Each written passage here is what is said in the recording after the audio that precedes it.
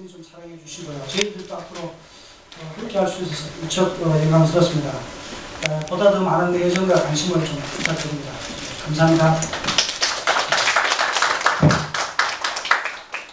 그 올해 이제 시댄스에 참여하는 예술가분들 지금 어떻게 작업하고 계신지 간략하게 좀 말씀 들어보는 시간을 좀 갖도록 하겠습니다. 먼저 그 EDX 무용단의 이인수 대표께서 예, 지금 한참 작업 중이신데 예, 지금 어떻게 준비하고 있는지 좀 얘기를 좀 들어보도록 하겠습니다.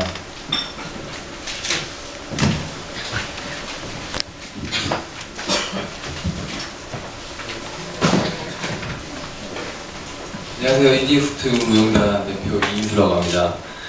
아, 저희 뭐 이렇게 제가 얘기하려면 되게 얘기할 거리가 굉장히 많은데요. 일단 인디후트 무용단이 저희 이세계 무용 축제에 참가해서 너무 기쁘고요.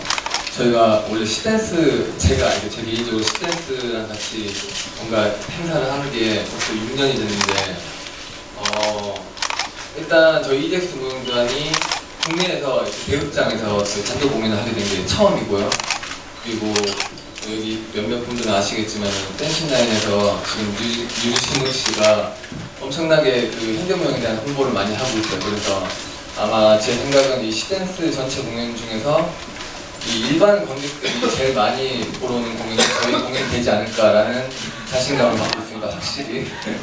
그래서 지금도 왜냐면 저희 이제 저희 쪽으로 문의 들어오는 사람들이 굉장히 많고 또 제가 저희가 이제 저희가 엄청 치밀하게 지금 계산을 하고 있거든요. 그래서 아마 지금까지 어, 일반 관객들이 거의 한 200명 정도 예매를 했고 저희 예상으로는 한 400명 정도 무용에 전혀 관계 없는 사람들이 한 400명 정도 올 거라고 기대를 하고 있습니다. 그래서 어, 굉장히 저희로서는 예, 흥, 되게 흥분되는 그런 공연이고 또 이게 공식적으로 저희가 한국에서 이제 처음으로 EDF 무용단이 공연을 한다라고 이렇게 좀 창단 공연의 느낌을 많이 가지고 있어요. 그래서 예, 굉장히 예, 설레.